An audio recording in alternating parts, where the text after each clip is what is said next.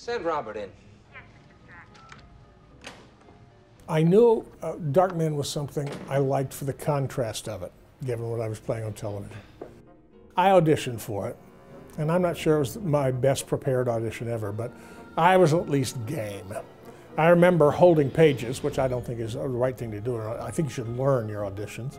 But I was like holding pages, and, and I did whatever scene they requested or whatever. And I just jumped into it, and I kind of did. I was winging it, but I was apparently winging it well like I say, not well prepared, not good.